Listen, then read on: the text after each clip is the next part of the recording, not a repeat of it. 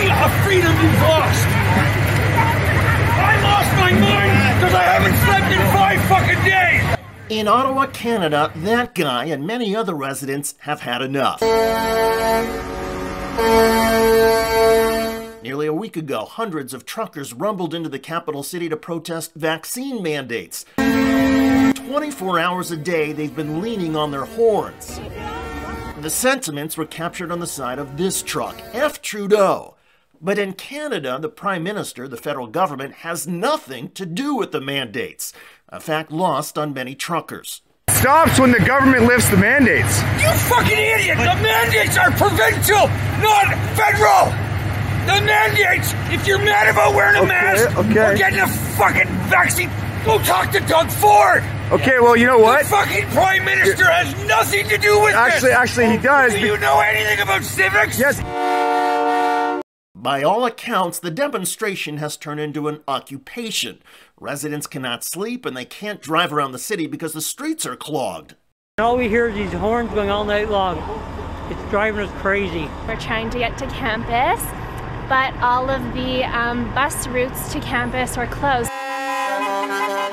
They're in the what I would call the splash zone. I feel bad for them, um, and, but when you want to change something in history, there's always going to be some un- uncomfortableness. But it's been more than just uncomfortable. The so called Freedom Convoy has included anti Semitic signs, the desecration of monuments, and the participation of far right political activists, including supporters of Donald Trump. The honking will continue until freedom improves.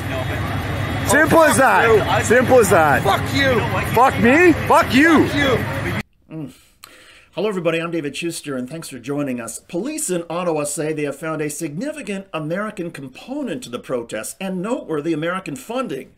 A GoFundMe page here in the United States for the convoy has raised over $10 million. Law enforcement authorities in Canada say they have begun several investigations, but are reluctant to try and break up the demonstrations because of fears of rioting and possible violence.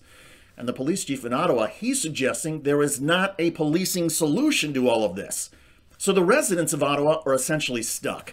They've been pleading with the truckers to knock off the horns at least overnight. Prime Minister Justin Trudeau is calling the truckers a fringe minority and says the convoy reflects the proliferation of, quote, disinformation and misinformation online, conspiracy theorists about microchips, about God knows what else that go with the tinfoil hats.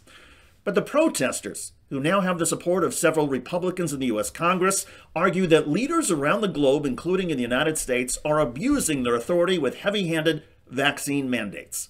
And so the clash and the noise in Ottawa continues. The truckers insist they are standing up for freedom. Residents say the convoy is actually taking away freedoms. Business leaders point out the convoy has forced the closure of countless restaurants and shops, costing millions of dollars.